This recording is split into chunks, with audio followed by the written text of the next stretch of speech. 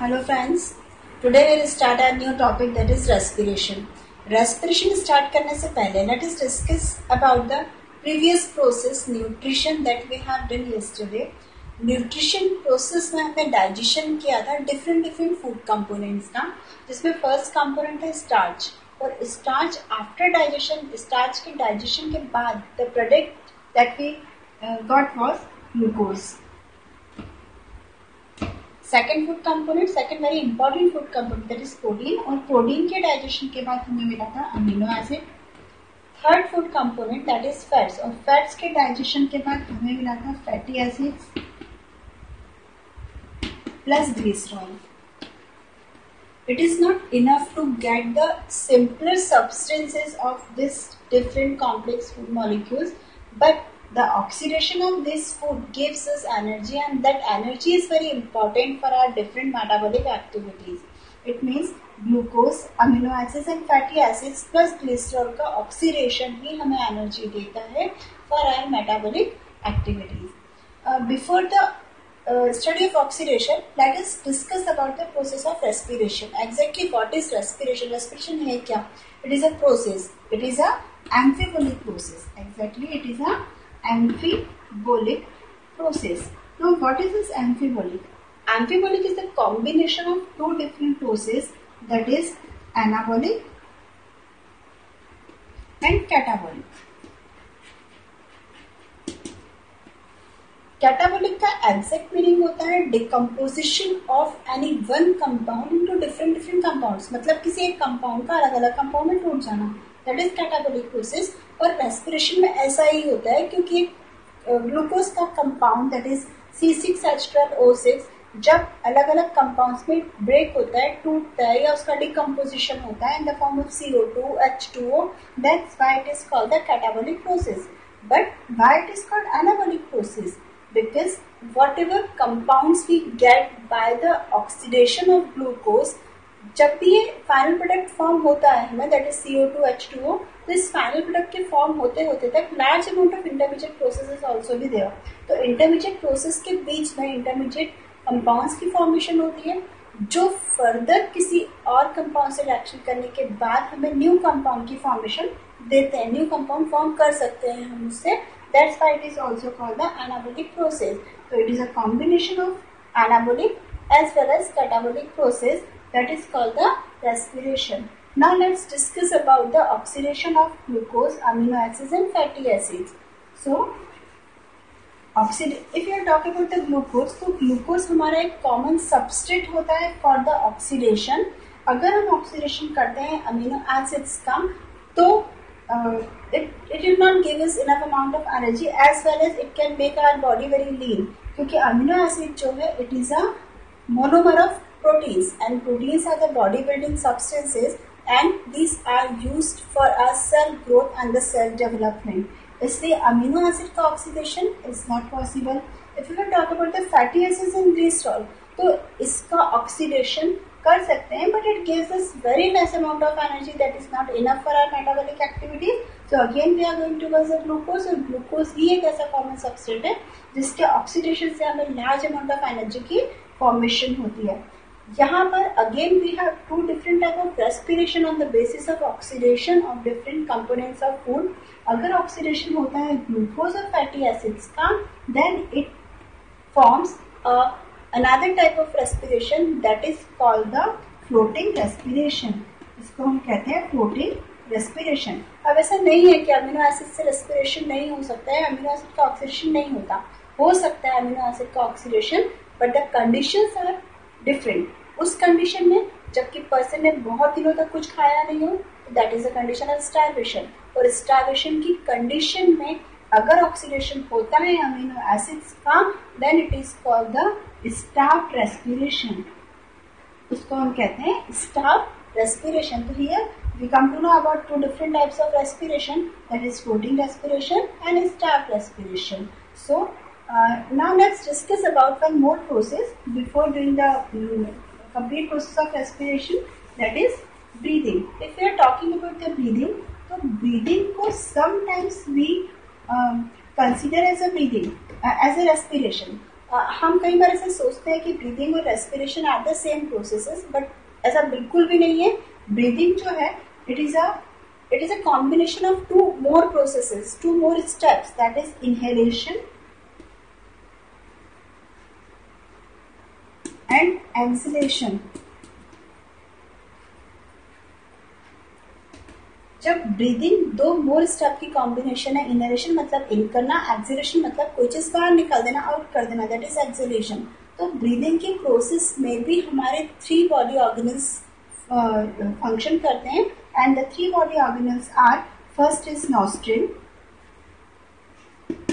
second is alveoli. As we know that alveoli is the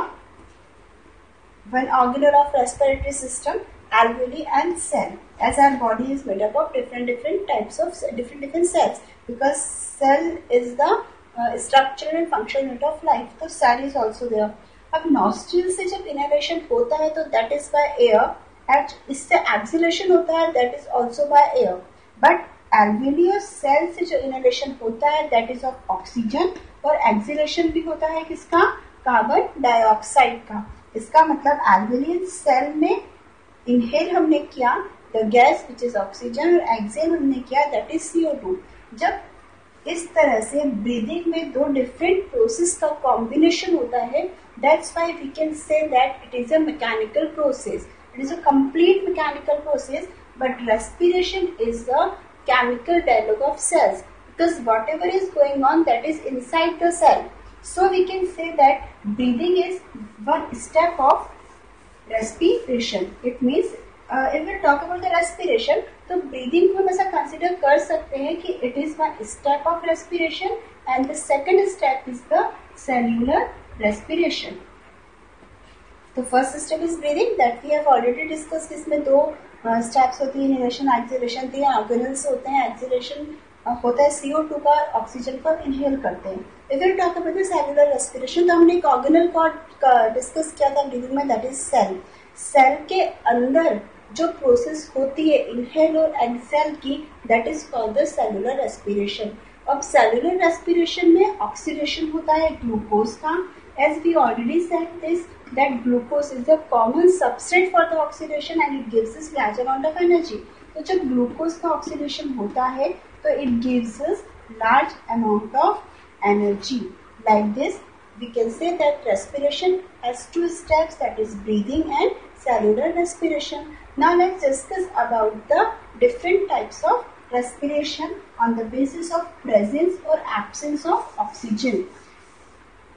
As oxygen is very important and this we get with the help of the process that is breathing. तो अब oxygen present है या oxygen absent है that's that we will discuss with the help of different types of respiration. Respiration के दो different types हैं aerobic respiration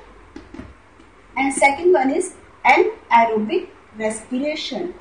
See its name aerobic in the presence of air in the presence of air जब air के presence में या we can say oxygen के presence में जब रेस्पिरेशन होता है then it is called the aerobic respiration जब ऑक्सीजन की एब्सेंस में होता है, या फिर लैक ऑफ़ ऑक्सीजन में होता है then it is called the anaerobic respiration let's first discuss about the anaerobic respiration before discussing anaerobic or aerobic respiration, let us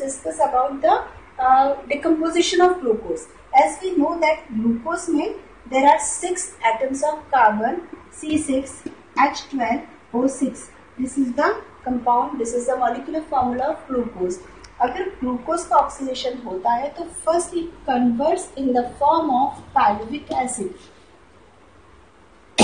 ना what is is pyruvic acid it is exactly the three atoms it is a compound which is three atoms of carbon तो ये पायरिफिक acid एक ऐसा common compound है जो aerobic respiration में भी form होता है और एनरोबिक रेस्पिरेशन में भी फॉर्म होता है and it occurs in the cytoplasm cytoplasm is the fluid which is present in site cell and in the cytoplasm pyruvic acid की फॉर्मेशन हो जाती है. Afterwards it depends on the quantity of oxygen whether it is present और whether it is absent it depends on that कि हमें कौन सा respiration form हो रहा है? एरोबिक की anaerobic now pyruvic acid is a common now let's discuss about the anaerobic respiration जब पायरुविक एसिड की फॉर्मेशन होती है इन द एनारोबिक रेस्पिरेशन तो यहाँ पर आने के बाद again we have two different conditions एक कंडीशन होती है जिसमें ऑक्सीजन एब्सेंट होता है और एक कंडीशन होती है जिसमें ऑक्सीजन प्रेजेंट होता है. If we are talking about the absent of absence of oxygen absence of oxygen में जो हमें प्रोडक्ट फॉर्म होता है that is ethanol plus very less amount of energy बहुत कम अमाउंट में हमें इसमें एनर्जी मिलती है। It is very common in the yeast जो यीस्ट होता है उसमें जो रेस्पिरेशन होता है that is anaerobic respiration and this process is called the fermentation ethanol is exactly the alcohol इसका मतलब अल्कोहल की फॉर्मेशन होती है by the process of fermentation in the absence of oxygen again the common compound is common substance is pyruvic acid Now the second condition, as I already said that because of these two conditions created in the anaerobic respiration, second condition is lack of oxygen. अगर oxygen कम हुआ quantity में कम हुआ oxygen then what can be possible तो यहाँ पर जब हम एब्सेंस ऑफ़ ऑक्सीजन की बात कर रहे थे तो pyruvic acid has been converted in the form of ethanol but जब हम बात कर रहे थे लैक ऑफ़ ऑक्सीजन की, यहाँ इसका डिकम्पोजिशन हुआ था। पर जब हम पायरिक एसिड की बात कर रहे थे in the lack of oxygen तो यहाँ पर पायरिक एसिड कन्वर्ट हुआ था in the form of lactic acid और जनरली लैक्टिक एसिड की फॉर्मेशन होती है inside the muscles in the inside the muscle of organism whenever any person when sportsman any athletes any physical exercise जो person करते हैं वो अगर वो बहुत ज़्यादा फ़िज़िकल एक्सरसाइज करते हैं तो उनकी मसल्स में ऑक्सीजन की डेफिशिएंसी हो जाती है but the muscles can get energy by the process of anaerobic respiration उस कंडीशन में पायरिक एसिड कन्वर्ट होता है डिकम्पोज नहीं होता कन्वर्ट होता है in the form of lactic acid as pyruvic acid is three carbon atom compound तो lactic acid जो होता है वह भी थ्री कार्बन आइटम कंपाउंड होता है पर जब जब लैक्टिक एसिड की फॉर्मेशन होती है inside the muscles person can get energy but the person can get the muscle cramps inside the body Okay, now this is the complete about the anaerobic respiration. Now let's move towards the most important respiration that is the aerobic respiration. As already I said that aerobic respiration occurs in the presence of oxygen. अब presence of oxygen में हो रहा है but one common substance is one common compound is again here that is the pyruvic acid. इसका मतलब सबसे पहले glucose glucose is the six carbon atom compound जब इसका ऑक्सीडेशन किया in the presence of oxygen तो ये convert हुआ in the form of pyruvic acid pyruvic acid is three carbon atom compound और जब पायरिक एसिड का हमने फिर से ऑक्सीडेशन किया तो it converts in the form of C O two plus H two O plus energy like this it gives us large amount of energy that is around that is around thirty six A T P now generally in the books it is written that it is thirty eight A T P but जब हमने इसके पहले की कोशिश की थी कि cytoplasm के अंदर पैरविक एसिड की फॉर्मेशन हुई थी, वहाँ पर हमें दो एटीपी ऑलरेडी मिल चुके थे। जब ये 36 सिक्स एटीपी उस टू एटीपी से फिक्स होते हैं then it converts in the form of 38 ATP molecule here ATP is the adenosine triphosphate which is the energy currency and it occurs in the cell organelle that is called mitochondria like this glucose converts in the form of pyruvic acid pyruvic acid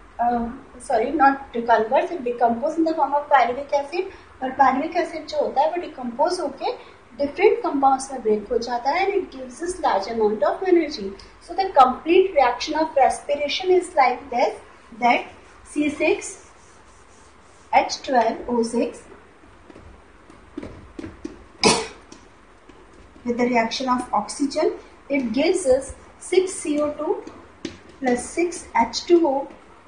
plus large amount of energy. Large amount of energy matlab it gives us 38 ATP molecules of energy. Now CO2 release in the process of respiration how we can prove that the gas which releases is CO2. For this we have an activity in our book. On the basis of that activity अगर हम line water लें lime water exactly it is C A O H whole twice it is a lime water अगर हमने lime water एक test tube में लिया and will add some CO two which we are getting by the process of respiration मतलब अगर हम इसमें एब्जेल करें दैट इज़ सीओ टू तो कार्बन डाइऑक्साइड को जैसे ही हम इसमें ऐड करेंगे it will turn into milky या मिल्की में कन्वर्ट हो जाएगा and it is a confirmatory test of CO2 it means whenever CO2 is added with CaOH whole twice that is lime water तो ये कन्वर्ट हो जाता है in the form of CaCO3 that is calcium carbonate and it proves that CO2 releases after the process of respiration. So here we have discussed about the respiration process, its different types um, and uh, and its different types, how we get the energy after the oxidation. But energy whatever we get, it is in the form of ATP. तो ATP को हम detail में study करेंगे and breathing process को हम detail में study करेंगे in our next lecture thank you